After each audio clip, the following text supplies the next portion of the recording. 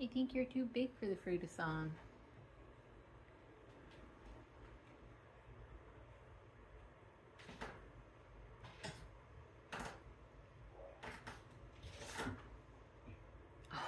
Oh.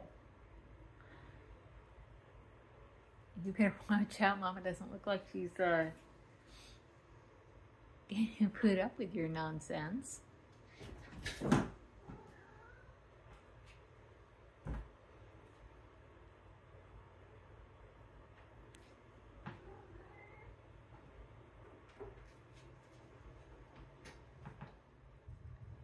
Crazy.